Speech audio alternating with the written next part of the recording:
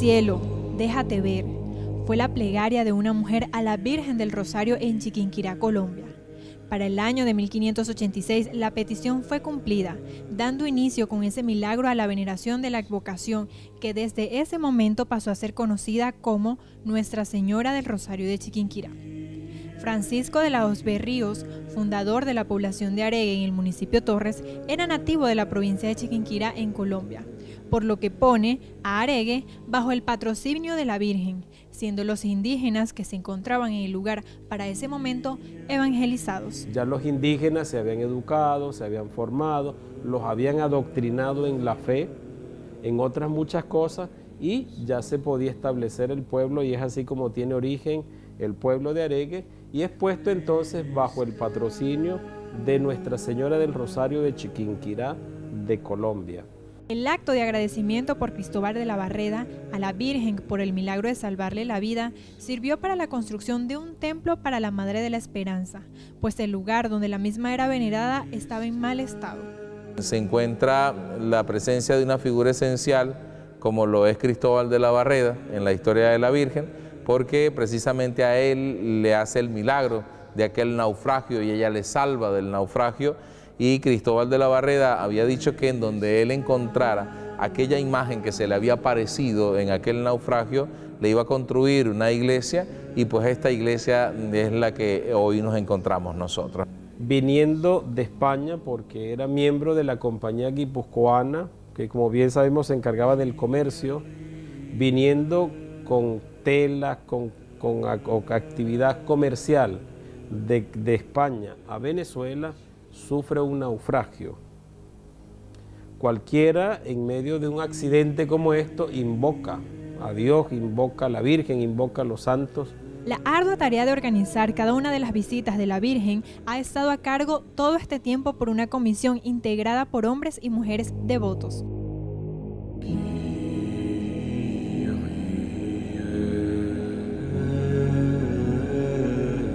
Imagen de la Virgen ha venido en otras oportunidades a Carora en tiempos muy particulares. Por ejemplo, el último que se hizo de visita extraordinaria cuando la pandemia del chikungunya, que estaba aquí en Carora haciendo estragos y que todos vivimos en aquel momento, se hizo una visita extraordinaria pidiéndole a la Virgen su intercesión y en efecto, si nos damos cuenta, después que termina la visita de la Virgen, disminuye grandemente la situación del chikungunya aquí en Carora. Anterior a esto, en el 2010, hubo los secuestros que se realizaron en Carora que fueron muy continuos y que azotaron a muchas familias, causaron mucho dolor, entre los cuales está la muerte del señor Mario Oropesa y un grupo de personas pidieron que si era posible traer la Virgen pidiéndole auxilio para el pueblo en medio de aquella situación que vivía. Y fue así entonces como la imagen se trae y podemos decir que terminó en aquel momento aquella situación triste y dolorosa de los secuestros en el municipio Torres. Uno de los grandes retos para las visitas de la Virgen fue su traslado, que generaba siempre preocupación entre los aregueños, por lo que se ideó un transporte para que la Virgen lograra acudir al encuentro con sus hijos de forma segura. Yo voy a, Maracaibo y como hijo Giovanni me dice, vamos para la basílica. Cuando vamos a la basílica de Maracaibo, está saliendo la Virgen en una camioneta que es la de ella, ¿no? En ese momento me hice este, la idea, dije, tenemos que comprar un carro para la Virgen Chiquinquirá en carro. No puede ser que, ¿por qué no lo podemos llegar así? Cuando regresó, yo iba de viaje y después cuando llego acá a Carol le digo, padre, vamos a comprar el carro. Y es así entonces como nos pusimos en movimiento para adquirir el carro.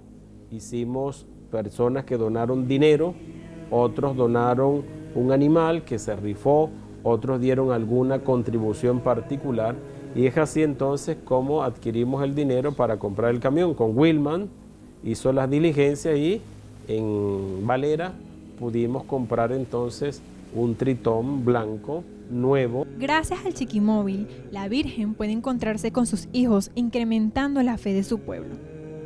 es que todo el año la Virgen peregrina por los caseríos y todo el año ellos tienen que llevarla a Montecristo, a la Candelaria, Aregue, no, o sea, no, Río Tocuyo, para todo el municipio donde ellos van tienen que llevarla. Ese Chiquinquira móvil que ha permitido llevar la Virgen a Maracaibo, a Barquisimeto, al Venado, al Paradero, a la Sierra de Falcón, a Urdaneta, a todos los campos y a todos los sectores de aquí de Carora, lo fundamental que ha sido. La Virgen está protegida del sol, está protegida de la lluvia, está protegida de cualquier objeto pesado que puedan tirar, ¿verdad? Para en algún momento hacer daño a la imagen, está protegida.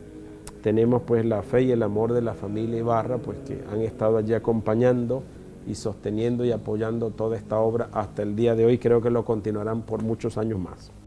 Eh, cuando fuimos a Coro, la visita, como le decía, de que ha salido de otros, de otros, de la diócesis, es el, en 2010 que fuimos a Maracay, a, pero a Coro, a la vela de Coro, en el 2011 que fuimos a la Basílica de Maracaibo, este, otro estado que ha, eh, salido de aquí es más que todo es al padadero, ¿no?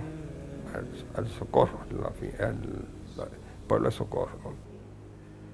La experiencia mía en el Chiquimóvil este año fue una experiencia, mire, yo lloré mucho, yo lloré mucho al ver, al ver tantos hermanos y hermanas como a través de signos y de gestos manifestaban su amor filial a la madre.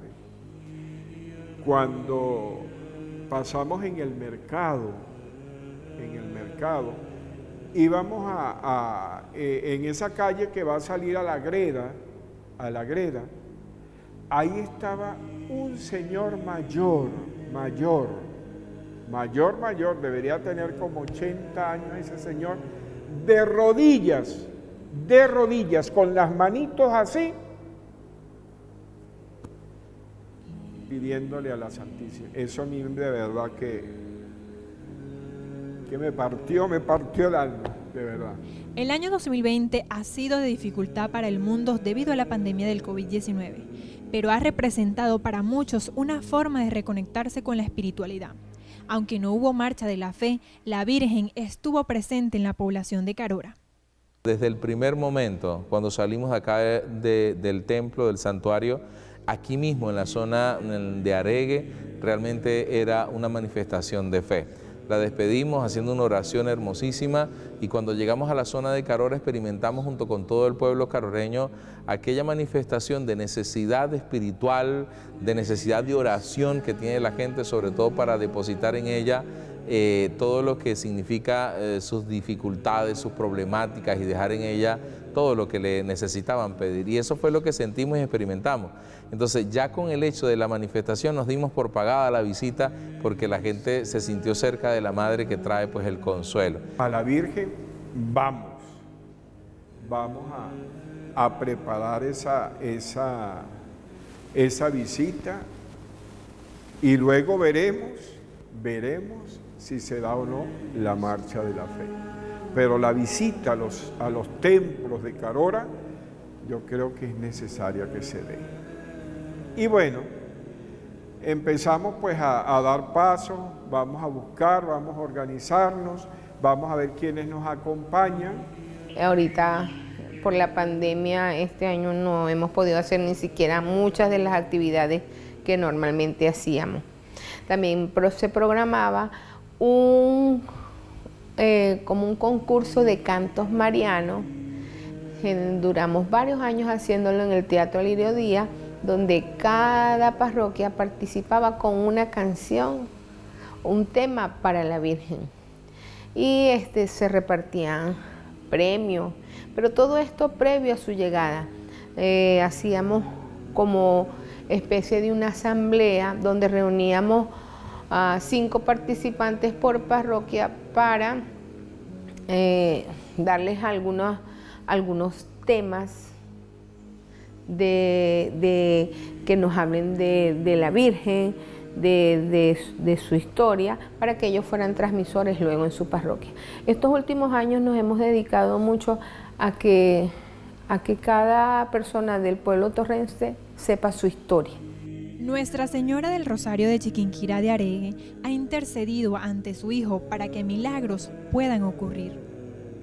Una familia que se acercó porque el niño se había tragado una moneda, una familia de cabimas, el niño se había tragado una moneda y encuentro a una persona, una señora, llorando frente a la imagen de la Virgen. Me le acerco para preguntarle qué le pasa y me cuenta, vengo de Cabimas con mi esposo, está ahí en la puerta, mi esposo no ha querido entrar porque es poco creyente, pero he venido yo y aquí estoy con mi hijo. Mi hijo se tragó una moneda, ya no la ha podido votar, hay que intervenirlo, ya tiene dolores, ya tenemos fecha de la intervención y todo, pero vengo aquí a pedirle a la Virgen.